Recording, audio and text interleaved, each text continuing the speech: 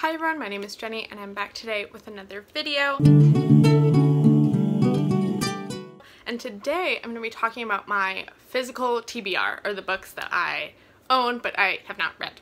Um, for anyone who is not in the know in the booktube world. So this is quite a popular topic to discuss here on booktube and it's something that I have been thinking a lot about particularly as I, so a little background on me, um, I graduated from uh, undergrad or college, university, whatever you want to call it, about a year ago. And since then, for a variety of different reasons, one of which being COVID-19, I am still living at home. However, uh, at some point in the next year or so, I do plan to move to my own place, uh, especially because I am planning on going to grad school in the fall of 2021 and likely will be moving to wherever uh, grad school may take me in the next year. So since I have that kind of in my mind as like this time next year uh, project, I wanted to kind of evaluate my unread TBR and try to make an action plan in terms of reducing it as I don't want to be bringing boxes of boxes of unread books to wherever my next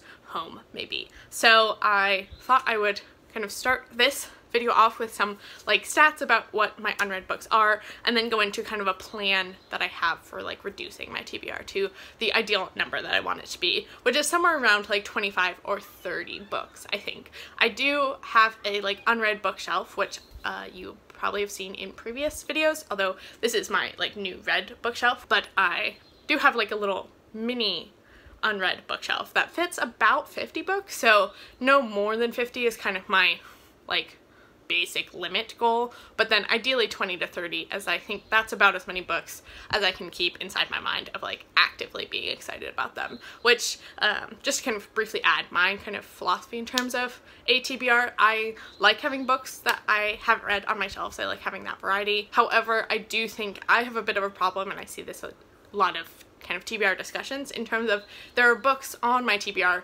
that I purchased several years ago that my reading tastes have changed or I bought them fairly cheap at the time and I wasn't really thinking do I actually want to read this book and now I have it sitting in my book potentially from like two years ago.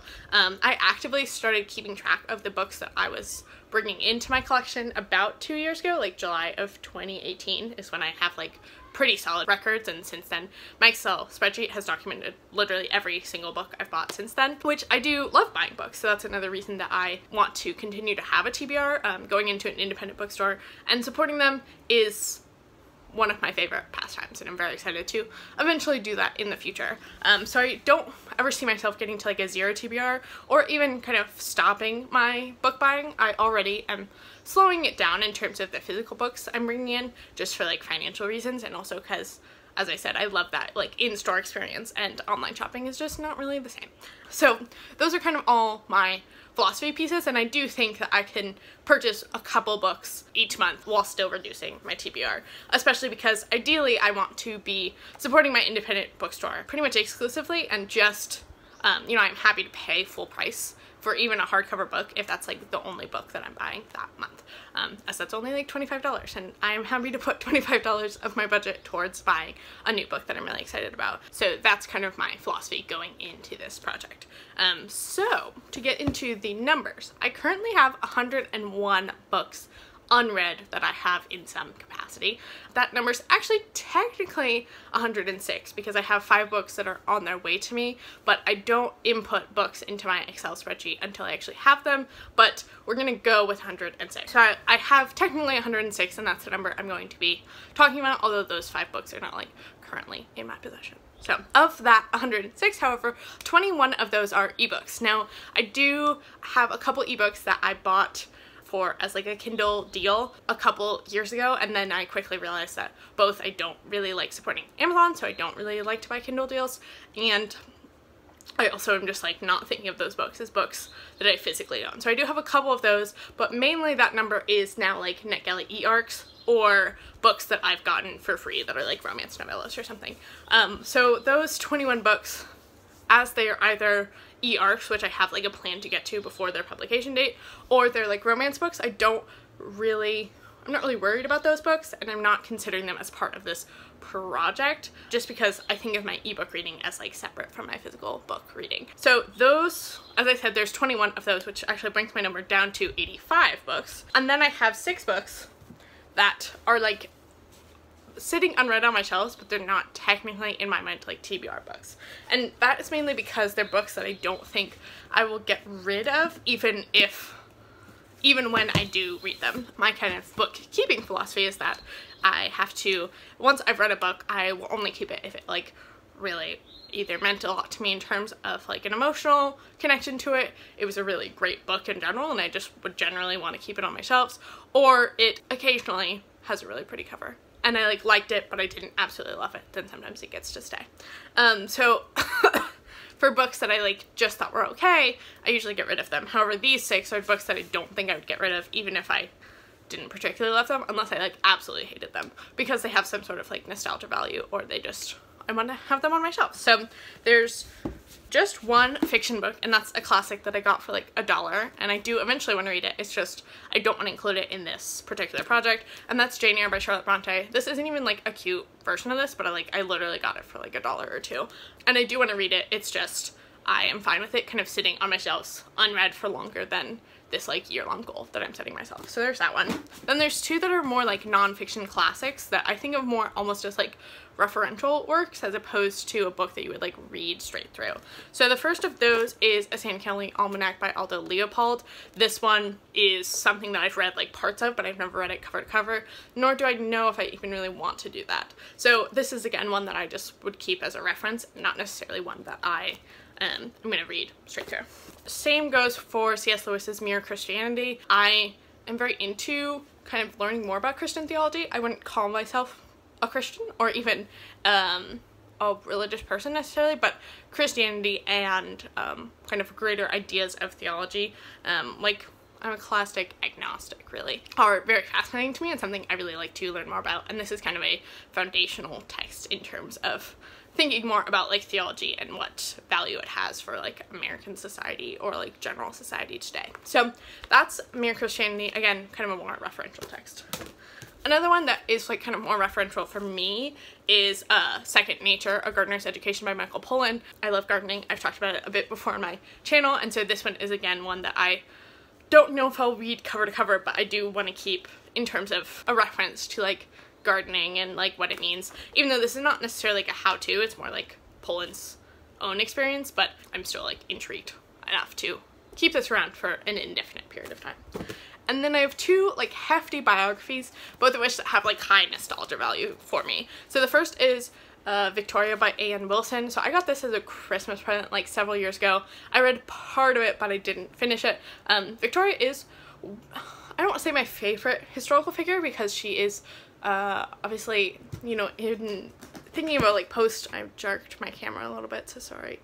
In terms of like a post-colonial analysis of history, Victoria is not a great historical figure, but I do find her very fascinating. Um, the Young Victoria, which is a very silly movie, is like one of my favorite movies. And she's been a like historical figure that I'm very interested in for many years and I think that will continue to be true. However, this is like a huge biography of her and I'm actually not even sure if this is necessarily where I want to start with learning more about Victoria, but because it's a Christmas present, I'm like not going to get rid of it. So there's that one. And then the other one is The Ballad of Bob Dylan. Again, Bob Dylan obviously it has some complexities, but I love Bob Dylan. I love folk music in general. Bob Dylan is obviously a huge founder of like the modern American folk music scene and this biography is actually by a family friend so it's like personalized to me so I'm like not going to get rid of this but again it's not something that I'm like eager desperate to get to um, but eventually I do want to get to these two biographies just not within this like year-long time frame. So if I did my math correctly, that should be 79 books. And then there are a couple other ones that I just wanted to point out that kind of lowers that number even more. So I do count the books that I'm currently reading as my like own TBR in my Excel document until I've either completely given up on the book or I finished it. And as I said in my Friday Reads video, which should have gone up about a week ago, I think, this video is going to be going up this time next week. It's the 12th right now, so I just finished filming my Friday Reads. But the three books that I'm currently reading right now are The Gulf by Jackie Davis, Perennials by Mandy Berman, and All Adults Here by Emma Straub. So these ones are going to come off my TBR in the near future, but they are technically still on there right now. Then I also have three books on my Excel spreadsheet that are not actually technically my books. The first of which is one of the five that's on its way to me, and that's The Weight of Ink. Um, I can't remember who it is by at this moment, but I'll put a picture right here. And that is one of my mom's book club books that I ended up ordering for her, which I'm intrigued about, but it is technically her book. Additionally, I have Louise Penny's Still Life, which I got for my mom for Christmas a couple years ago, and she read it and enjoyed it, but since I got it for her for Christmas, it's technically her book, and I this is a series I do want to try, but I'm not like you know, desperate to get to it. And then the other is the next Ann Patchett book I want to read, which is State of Wonder.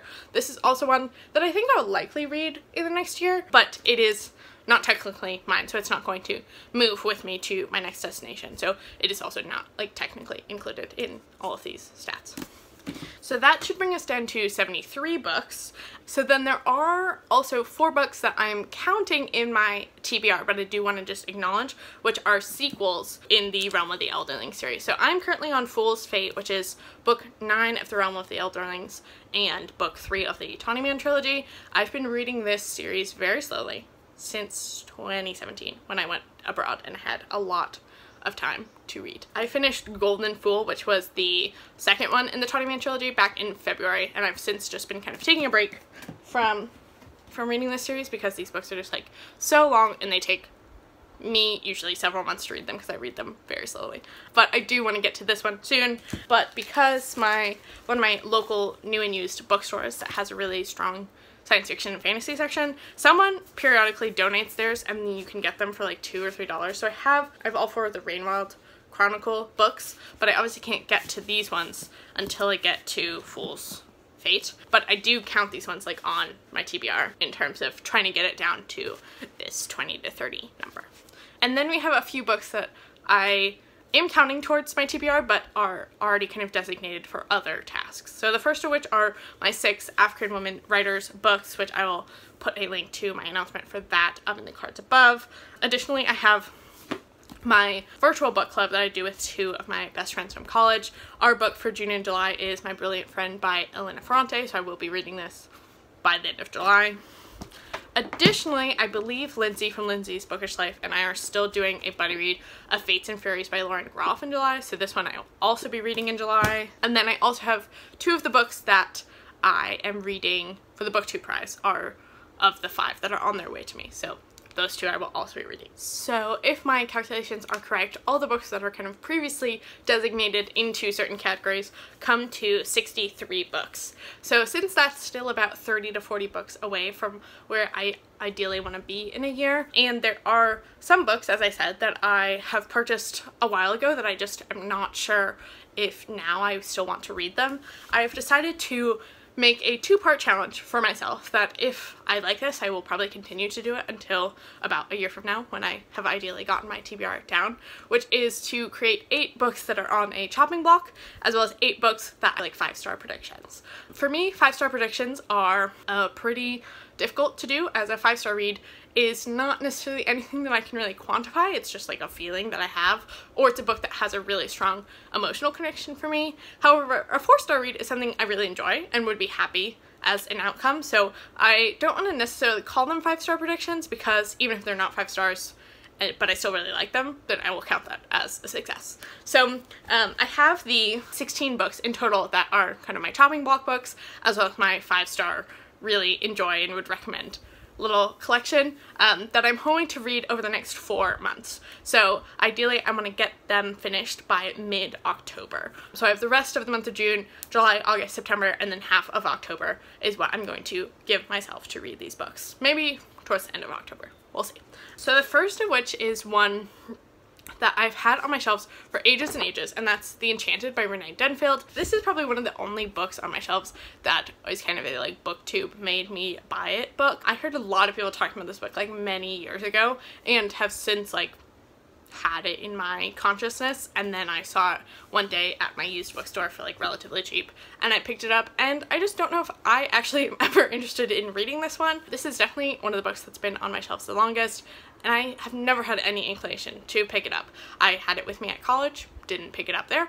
Um, I've, I've had it about a year here and I haven't picked it up. So this is the first one that I'm likely to probably get rid of if I don't read it by October. So the next one I have is 10,000 Saints by Eleanor Henderson. I read and loved the 12 Mile Straight, this here, about two years ago. Um, although I didn't particularly love the reading experience of that book. However, the amount of research and the thematic elements of the 12 Mile Straight was something that I returned to again and again, and I still think about that quite that book quite fondly. Um, it was one of my favorites of 2018 when I read it. So I was really excited to read more of Eleanor Henderson's work.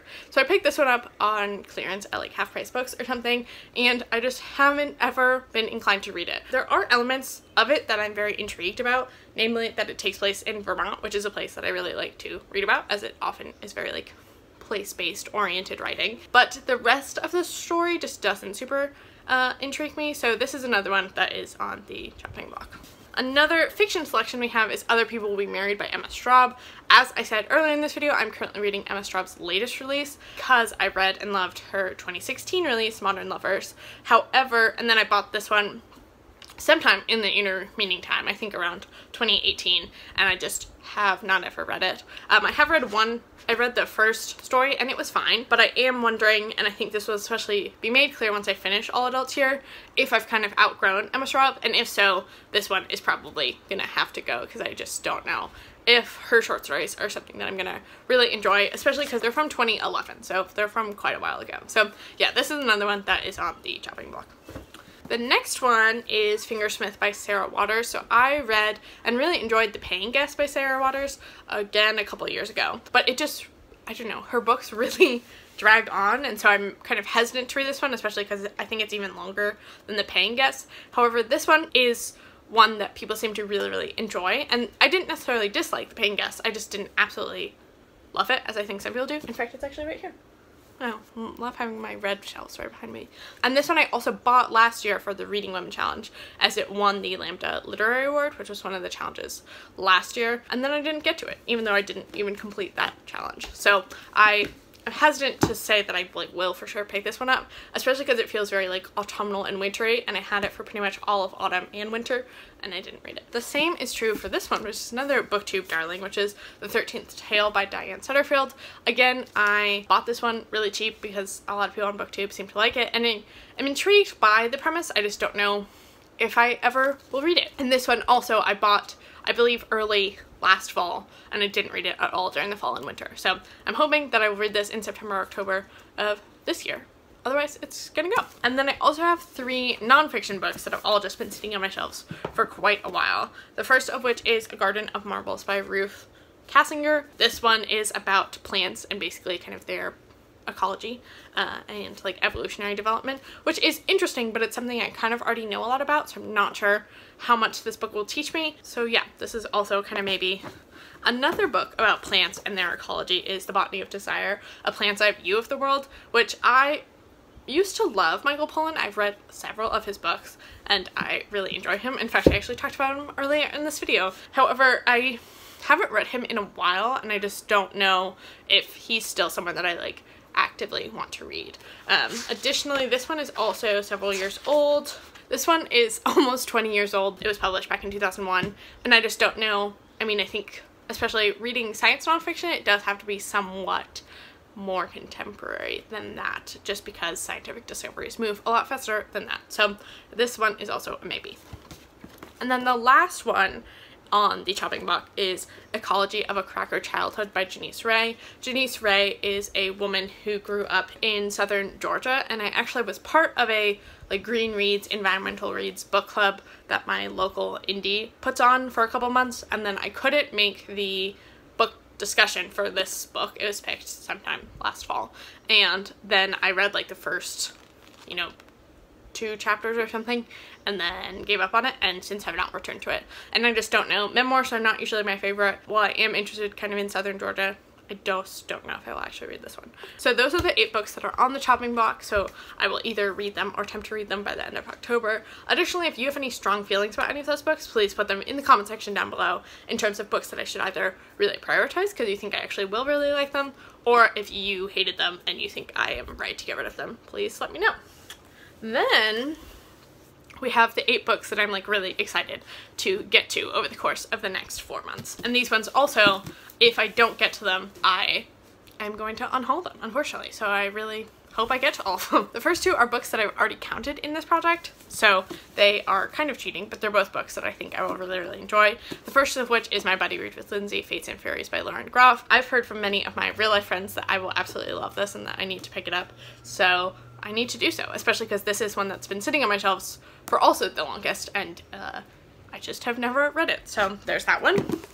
Additionally, for my African Women Writers Project, uh, She Would Be King by Wayétu Moore, I am very, very excited about getting to this one. It's my September pick, so I will definitely be getting to this one before October, and I'm really excited about it.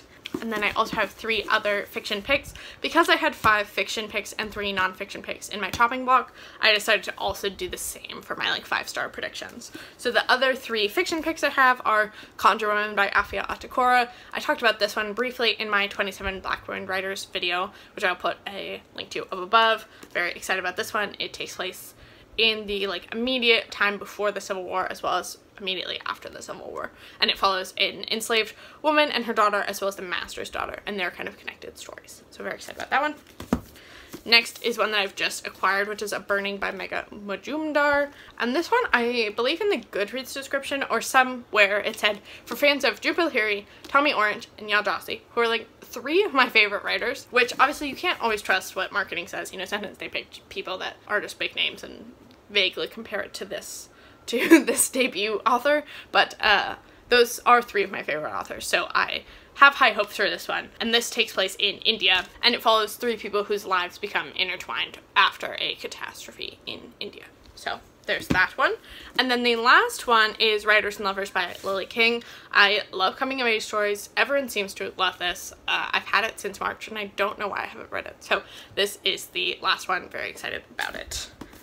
Then for my three nonfiction picks, the first of which I have is The Potlikker Papers, A Food History of the Modern South by John T. Edge. John T. Edge runs the Southern Foodways Alliance, which puts out the podcast Gravy, which I'm not a big podcast listener, but Gravy is one of my favorites. It's basically like stories of modern food in the South. Obviously that is an intersection of many of my interests, and I think this will be as well in terms of the South and cooking and history are like three of my big buzzwords. So I have no reason to think that I won't enjoy this, especially because the food history of the modern South is a very fascinating one. So that's my first non-fiction five-star prediction.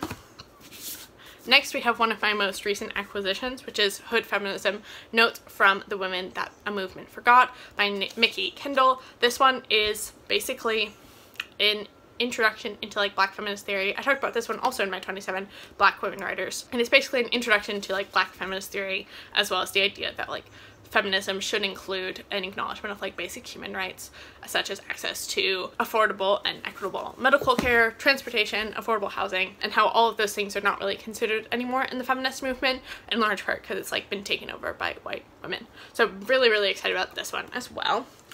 And then my last one was a Christmas present? I think it was a Christmas present from one of my best friends who's also a reader who I believe regularly watches my channel and that's In Other Words by Jhumpa Lahiri. Jhumpa Lahiri is tied for my favorite author of all time and I have been hesitant to get to this one mainly because I don't want to run out of things that she's written.